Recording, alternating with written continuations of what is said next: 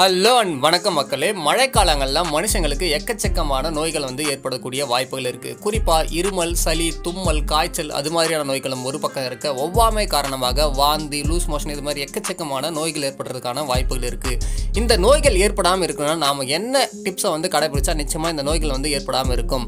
அப்படின்னு சொல்லிட்டு நம்ம பார்க்க சொல்ல ஃபஸ்ட்டு நம்மளோட இம்யூனிட்டி பவர் வந்து இன்க்ரீஸ் பண்ணணும். நம்மளோட உடம்புல இருக்கக்கூடிய நோய் எதிர்ப்பு சக்தியை வந்து இன்க்ரீஸ் பண்ணணும். அப்படி இன்க்ரீஸ் பண்ணணும் நம்ம என்ன பண்ணணும்? சிம்பிளாக நம்ம குடிக்கக்கூடிய ஒரு டீயாக இருக்கட்டும் இல்லை நம்ம சாப்பிடக்கூடிய ஒரு சூப்பாக இருக்கட்டும் இந்த மாதிரி விஷயங்களை வந்து டீயில் வந்து இஞ்சி கலக்கிறதோ இல்லை சூப்பில் வந்து பூண்டு கலந்து அதிகமாக சாப்பிட்றதோ இந்த மாதிரி விஷயங்கள் நம்மளுக்கு இம்யூனிட்டி பவர் இன்க்ரீஸ் ஆகும். குறிப்பாக நம்ம சாப்பிடக்கூடிய உணவுப் பொருட்களை கசப்பான உணவுப் பொருட்களை வந்து அதிகமாக எடுத்துக்கணும். நம்மளுடைய பழங்காலத்தில் இருந்து பயன்படுத்தக்கூடிய பாகற்காயை மழை நாட்களில் வந்து நம்ம அதிகமாக பயன்படுத்தும் போது நம்மளுக்கு இம்யூனிட்டி பவர் கூடவே அதிகரிக்கும். தேர்ட் ஒன்னா நம்ம கொதிக்க வச்ச தண்ணியை தான் குடிக்கணும். எதுக்காகனா அந்த தண்ணியில் வந்து இருக்கக்கூடிய பாக்டீரியா வைரஸ் போன்ற நுண்ணுயிர்கள் வந்து அழிக்கப்பட்டு சுத்தமான தண்ணியை நம்மளால் குடிக்க முடியும். இதனால் நம்மளுக்கு எந்த ஒரு நோயும் ஏற்படுறதுக்கான வாய்ப்புகள் கிடையாது.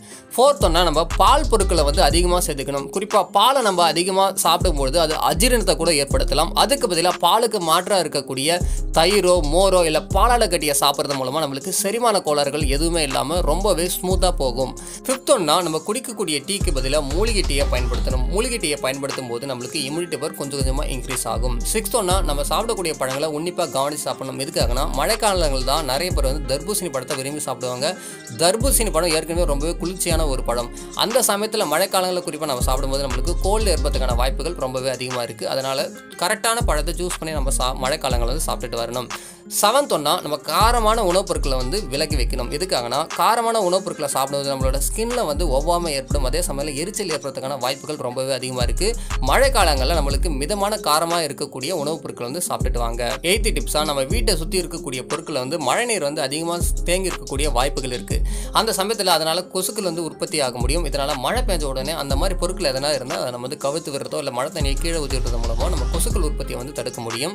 அதே சமயத்தில் மீறி கொசுக்கள் வந்து உற்பத்தி ஆயிடுச்சு மழை காலங்கள் அப்படி இருக்கு ஸோ நம்மளோட வீட்டில் நம்மளால் முடிஞ்ச கொசு விரட்டி வந்து பயன்படுத்தி கொசுக்களை வந்து அழிக்கணும். இதனால் நிறைய நோய்கள் வந்து நம்மளால் பாதுகாத்து கொள்ள முடியும். அதே சமயத்தில் மழை காலங்களில் நிறைய பேருக்கு ஏற்படக்கூடிய ஒரு மிகப்பெரிய பிரச்சனை இதுதான். மழை வருதுன்னு தெரியும் இல்லை மழை காலம்னு தெரியும். அந்த சமயத்தில் குடம் எடுத்துகிட்டு போகாமல் இருப்பாங்க ரெயின் கோட் போடாமல் இருப்பாங்க.